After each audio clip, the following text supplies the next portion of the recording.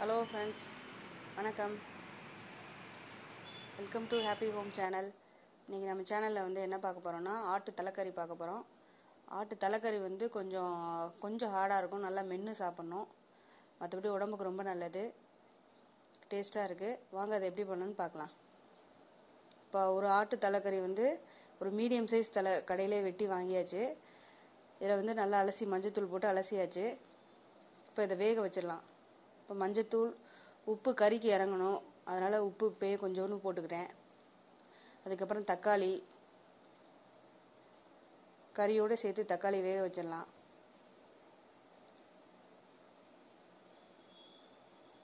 இஞ்சி பூண்டு பேஸ்ட்டு வந்து பாதி வேகிற போதும் தாளிக்கும் போதும் பாதி போட்டுக்கலாம்.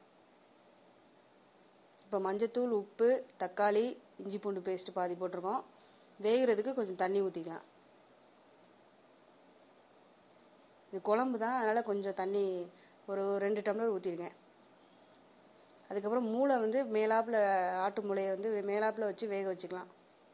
இது நல்லா வேக வச்சுட்டு காட்டுறேன். இப்போ தாளிச்சிடலாம் குழம்ப. நான் கொஞ்சம் சோம்பு பட்டை கிராம்பு அன்னாசிப்பூ இதான் எடுத்துருக்கேன். மசாலா ஐட்டத்தை தாளிச்சுக்கலாம்.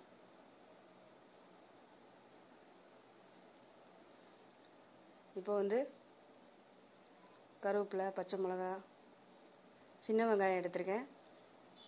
சின்ன வெங்காயம் போடுங்க அப்போ தான் டேஸ்ட்டாக இருக்கும். இப்போ மசாலா ஐட்டம் மிளகாத்தூள் மல்லித்தூள் கரம் மசாலா கொஞ்சம் உப்பு மஞ்சத்தூள். மசாலாவுக்கு கொஞ்சம் உப்பு போட்டிருக்கேன். குக்கரில் வேகும் போதும் கொஞ்சம் உப்பு போட்டிருந்தேன். இப்போ இது நல்லா எண்ணெயில் வந்து வதக்கிக்கலாம்.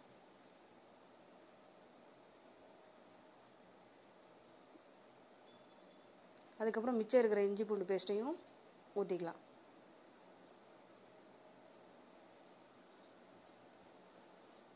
நல்லா எண்ணெயில் வதக்கிட்டு வேக வச்ச கறியை வந்து இதில் ஊற்றிடலாம் கறி நல்லா வெந்துருச்சு. ஆட்டு மூளை வந்து உடையலை. அதான் மேலாப்பில் வச்சேன். இப்போ இதை எடுத்து தனியாக வச்சுக்கலாம். அது வெந்துருச்சு. அதனால் அதை கடைசியாக கூட போட்டுக்கலாம். இப்போ இந்த கறியில் வந்து மிளகாத்தூள் மசாலாத்தூள் எல்லாமே வந்து நல்லா வந்து சேர்ந்து வேகட்டும்.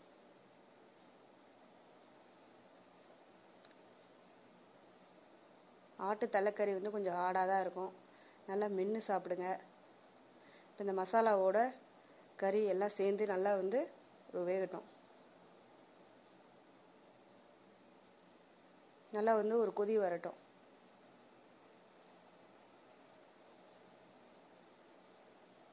மூளையை வந்து கடைசியில் போட்டுக்கலாம்.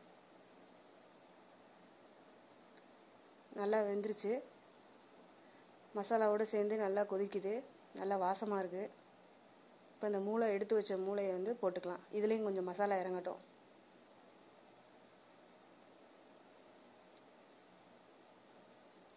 அதுக்கப்புறம் தேங்காய் வந்து கொஞ்சோண்டு ஒரு மூணு சில்லு எடுத்து அரைச்சி வச்சுருக்கேன். அதையும் ஊற்றி கொதிக்க வச்சிடலாம்.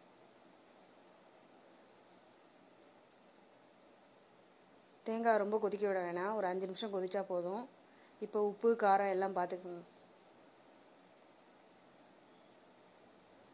தேங்காய் ஊற்றி ஒரு அஞ்சு நிமிஷம் நல்லா கொதிச்சிருச்சு. கறியெல்லாம் நல்லா வெந்துருச்சு.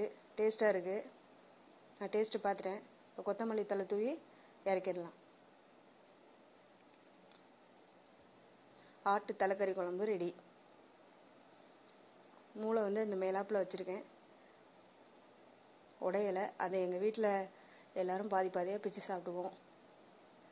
நல்லா இருக்குது இதே மாதிரி நீங்களும் செஞ்சு பாருங்கள் பிடிச்சிருந்ததுன்னா லைக் பண்ணுங்கள் ஷேர் பண்ணுங்கள் கமெண்ட் பண்ணுங்கள் சப்ஸ்கிரைப் பண்ணுங்கள் தேங்க்யூ